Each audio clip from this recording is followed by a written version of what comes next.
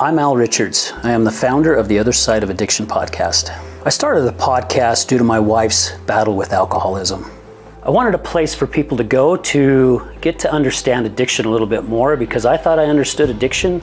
I didn't understand anything about addiction.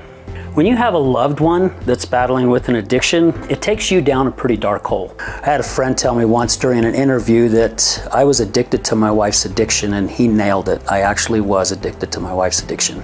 You know, the stigma is addicts are not the labels that society puts on them, they're actually the inspiration and the proof that addiction can be overcome.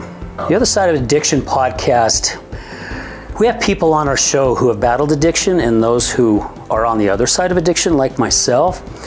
So, the whole purpose of doing the podcast is to get people to understand a little bit more about what addicts go through, the trauma that they have been through in their life, and to get them to understand it's not really the drugs and alcohol, it's just the band aid.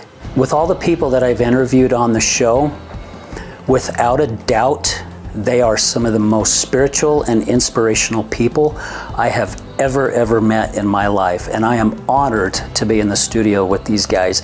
And I want people to understand that they need to see what we see here in the studio.